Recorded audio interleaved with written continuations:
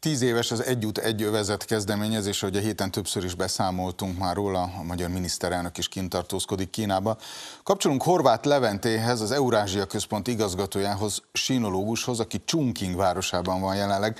Jó estét kívánok! Jó estét kívánok, köszöntöm a hallgatókat!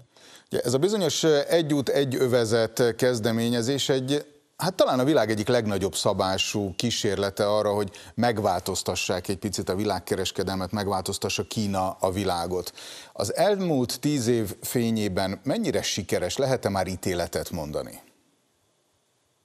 Mindenképpen el lehet mondani, hogy nagyon sikeres lett. Október 10-én a kínai népköztársaság kormánya kiadta az övezetés út kezdeményezéssel kapcsolatos fehér könyvet, amelyben már összefoglalták az elmúlt tíz év sikeres projektjeit, hogy több tízezer kilométernyi vasutat, autópályát hoztak létre itt az eurázsiai kontinensen, és hogy különböző kikötőket, ilyen például a Pireneusi kikötők is, amely megtámogatták és fejlesztették, és immáron Európa harmadik, negyedik legnagyobb kikötőjévé vált. Xi Jinping kínai államfő itt a tizedik évforduló kapcsán megtartotta a harmadik BRI fórumot, a, amelyen a, nagyon nagy szabású volt, több mint tízezren regisztráltak erre az eseményre. 151 ország és több mint 40 nemzetközi szervezet képviseltette magát, úgyhogy az első kettőnél, amelyeken ugyancsak volt szerencsém részt venni, ez még nagyobb szabású lett.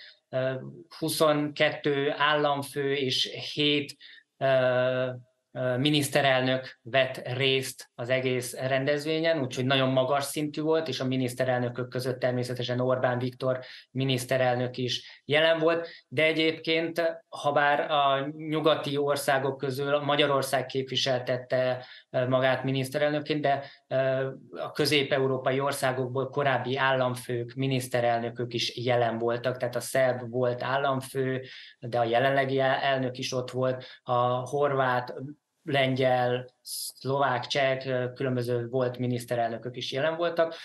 Nagyon nagy szabású volt ez a rendezvény, méltóan megünnepelték a tizedik évfordulót, amely azért is fontos, hiszen számtalan alkalommal hallhattunk ilyen hasonló nemzetközi kezdeményezésekről, de azok nem élték meg a tíz évet, de akár még az öt évet sem. Az egyövelet egy út kezdeményezés immáron tíz éves, és továbbra is nagyon komolyan fejlődik. Fontos megemlíteni, hogy Xi Jinping kínai államfő a beszédében is összegezve az elmúlt tíz év sikereit, most már nem csak mint tervezési szinten beszélt az övezetés útról, ugye eddig az öt alappillér alapján tervezték a, a, a, az övezetés út kezdeményezés jövőjét, hanem nyolc akciótervet is elindított, ilyen például a, a zöld fejlesztések, de akár a digitális gazdasági fejlesztések, amely keretében Magyarország is több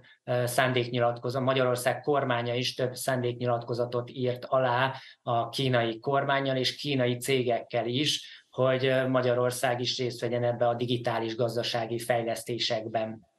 Például mai bejelentés volt a huawei egy közös kapuvári gyár is. Horváth Leventének nagyon szépen köszönöm, hogy beszámolt az Egyút Egyövezet kezdeményezésről.